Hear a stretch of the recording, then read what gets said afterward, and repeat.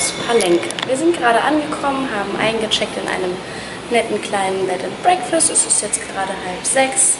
Wir haben eine gute Fahrt hinter uns. Äh, Palenque liegt im Staat Chiapas. Wir haben einmal kurz den Staat Tabasco überquert. Ähm, in Chiapas ist es ein bisschen bergiger, das heißt, die letzte halbe Stunde war ein bisschen rumpeliger, hat auch mal einen neuen Eindruck gegeben, weil Yucatan bisher ja immer relativ flach war. Ihr seht schon im Hintergrund, wir sind, haben hier so einen schönen Innenhof. Und jetzt zeige ich euch mal, wo es hingeht.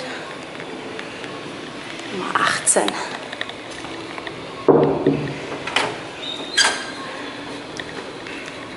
Hallo, hereinspazieren. So, wir haben wieder mal das Vergnügen mit zwei Betten. Daniel hat sich schon wieder gefragt, welches das Arbeitsbett ist und welches das, das Schlafbett ist. Ich glaube, du hast dich für das hintere als Arbeitsbett entschieden. Ja. Daniel hat total Angst, dass wir geköpft werden. Zum einen, weil die Decke nicht so hoch ist. Die Mexikaner sind nicht die größten und weil es ein bisschen wackelt. Aber zur Not haben wir Wir sind ja die Größten. Wir sind häufig die Größten hier, das stimmt. Ich finde die Deko schön, Daniel nicht. Also keine Option für zu Hause. Nein. Genau, das ist so alles, was wir hier so haben. Fernseher haben wir bisher noch nicht so richtig geguckt, obwohl uns ja empfohlen wurde, wir sollten die Telenovelas gucken. Und hier geht's noch ins Bad. Kleines Fenster dabei. Alles, was man braucht. Willkommen in Palenque. Wir sind angekommen. Buenos dias. Gestern sind wir angekommen. Genau. Gestern sind wir in Palenque angekommen, haben nicht mehr so ganz so viel gemacht und vor allem mal so ein bisschen geplant für die nächsten Tage, was noch so ansteht. Das ist unser letzter Spot Richtung Westen von äh, der Yucatan Insel und äh, das heißt Geil. Es geht wieder zurück nach Osten und zwar Tulum. Tulum, genau. Wir haben uns äh, Palenque als letzten Spot ausgesucht. Hier sind noch äh, im Hintergrund einige Ruinen zu sehen. Äh, das Spannende an diesen Ruinen ist, es sind diesmal kein Weltkulturerbe, dementsprechend was günstiger.